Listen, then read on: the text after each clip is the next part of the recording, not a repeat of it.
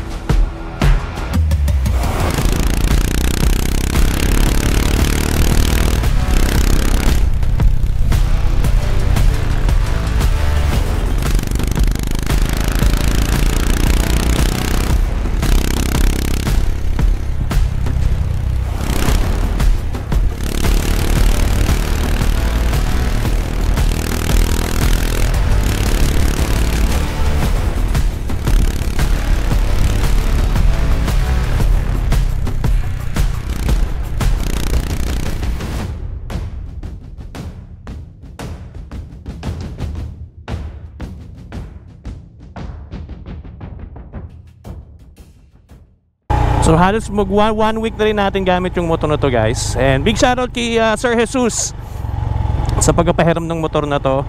So far so good. And I want to share kung ano yung uh, feedback and uh, my experience sa paggamit ng motor na to. And also, help magiging helpful to guys kasi if you are planning to buy a brand new unit or uh, a used unit ng Scram 411 at least magkakaroon kayo ng idea sa video na to kung kamusta nga ba siya uh, pang daily pamasok and yan sa expressway.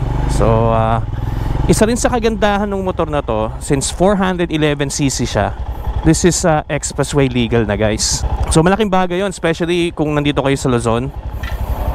Sobrang laking factor na yon kasi pwedeng pwede nyong pasukin yung expressway. You are planning to get the Scram 411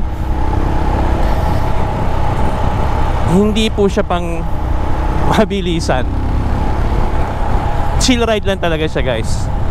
So while we're cruising sa skyway I wanna talk about fuel capacity. 15 liter po ang kayang kaya ng motor na to.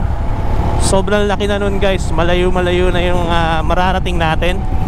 And ang fuel consumption na to uh, 33.33 kilometer per liter uh, medyo may tipid na rin especially if you're gonna use this uh, na pang daily. Saktong sakto yung skyway traffic guys. Matetest natin kung gaano nga ba ka maneuverability ang Scram 411 curb weight nito guys 185 kilograms lang. Sobrang gaang niya. Kaya perfect na perfect to para sa city riding at sa singit riding. Mapa EDSA man yan Smenia Highway Rojas Boulevard. Basic na basic. Effortless ang pagsingit natin dito guys kasi hindi tayo mga ngalay hindi tayo mga ngawit hindi tayo mabibigatan sa motor na to. Another thing to consider guys kung bibili kayo ng manual na big bike katulad na to is malambot ba yung clutch nya so medyo hassle yung when it comes to traffic. Palit kasi tayo ng palit ng gear. In the end ngalay ang aabutin natin especially kung bago pa lang tayo sa manual bikes. In this case the Scram 411 honestly uh, ang pinaka magaang na big bike na clutch na nagamit ko is Z400 at NK450 so yung dalawang motor na yon nasa 9 to 10 out of 10 yung lambot ng clutch niya. Ito naman si Scram 411 pagdating sa lambot ng uh, clutch. Uh, I would say nasa 6.57 hindi siya yung sobrang lambot hindi rin siya sobrang tigas pero sa ilang araw na gamit ko yung motor hindi tayo nangawit. Pag talaga ganitong traffic guys iti-take in consideration nyo yung lambot ng clutch nyo kasi nga unlimited shift ng gear dito eh Speaking of gear guys, hanggang gear 5 po ang Scram 411. Very smooth yung shifting ng gears niya. Ang kagandahan din kasi sa dash ng Scram 411 guys is yan, sa neutral, kitang kita natin yung letter N. Maliwanag na maliwanag yan. Ayan, shift tayo ng second gear. Kita rin natin kung anong gear na tayo nakalagay yan sa digital display sa dash ng motor na to. I mean, para sa mga beginner na nagma-manual bikes, ako personally beginner pa rin ako sa decambio ng motor eh. So I've been using Maxi Scoot for uh, a year na and beginner na beginner pa rin talaga tayo when it comes to uh, manual bikes. Kaya sobrang malaking factor na nakikita natin kung anong gear na tayo.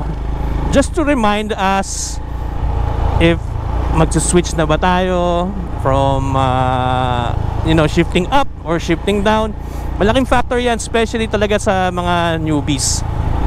Na kung naghahanap kayo ng first big bike nyo guys and you're thinking about getting the Scram 411 okay na okay to. Kasi nga yung gaang niya at the same time pag nag-shift tayo ng gears hindi nakakabigla yung speed niya. Hindi rin naman siya sobrang kabilisan. Very manageable naman siya.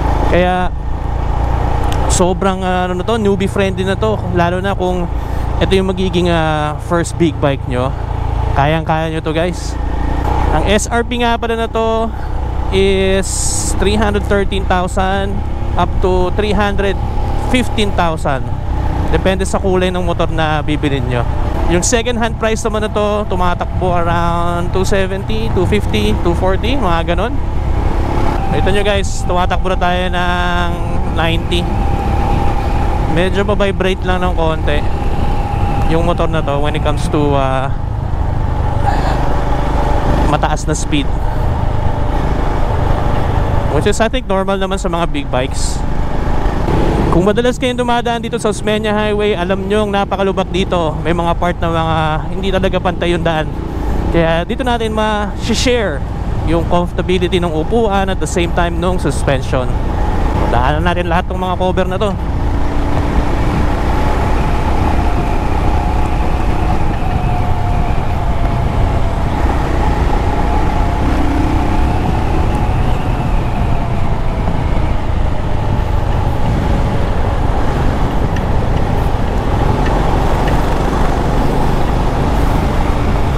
So sa suspension, wala akong masabi. Very comfortable. Kayang-kaya tayo. We are at 96 kg. Very comfortable yung feels natin sa motor na to. Yung upuan naman niya, very high quality yung gawa dito. Tapos sobrang lambot pa. So it adds to the comfort. Sa gulong naman guys, 19 yung harap and then 17 yung likod.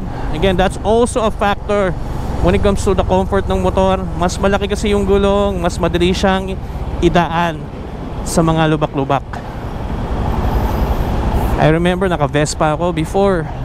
Size 10 and 11 yung size ng gulong. Grabe ang tagtag.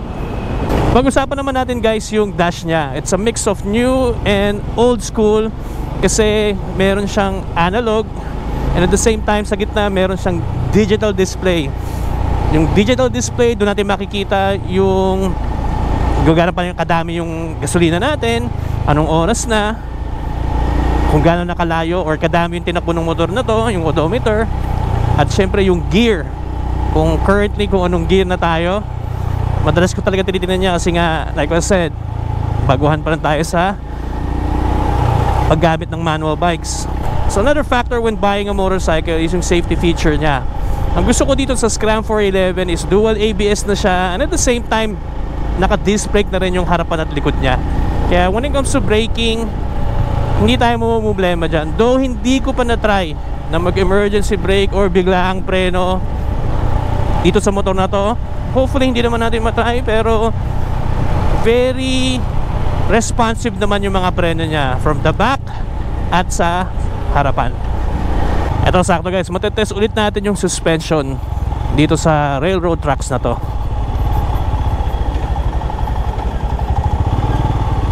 Oh, 'di ba? Smooth na smooth lang. Effortless. Nakakamiss yung bandrita sa ganyan, no?